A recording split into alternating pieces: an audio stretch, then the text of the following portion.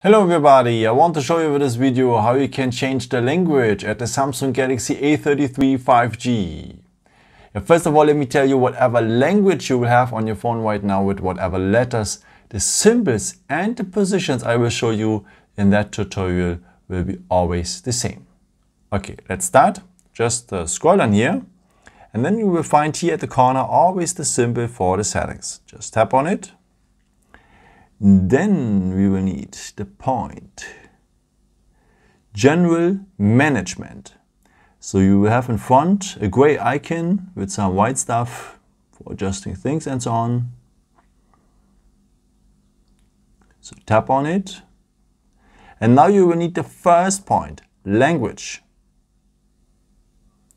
Okay, and now we are at the point language and uh, maybe you have here a list already. Like in my case, now I have uh, two languages here already. And if your language is part of that list, like in my case, Deutsch, so German, just tap on it, go on the blue button to apply. And now the phone is in German. Okay, let me put it back because I want to show you um, what you should do if uh, your language is not part of that list. So in that case, I think you can imagine already, just tap here on the green plus symbol to add a language. Oh. Okay, and now you can choose the language you want to have. Huh? So you have many opportunities here, but let's keep going on in English that you can follow better. So go on English here, and then you can choose the dialect as well.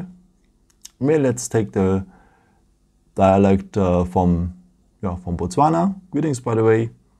And go then set as default. So the most white one. No? And then our phone have now has now the language English with the dialect of Botswana. Yeah, I hope I could help you with this video and answer your question. And uh, yeah, maybe if you want, you can leave me a nice comment or give me a thumbs up. That would be very helpful for my videos. Uh, thank you so, so much for. And I've created also some other videos if you're interested in, or maybe just subscribe me if you haven't done it before. Thank you so, so much for all your support. And uh, yeah, maybe until next time. Ciao.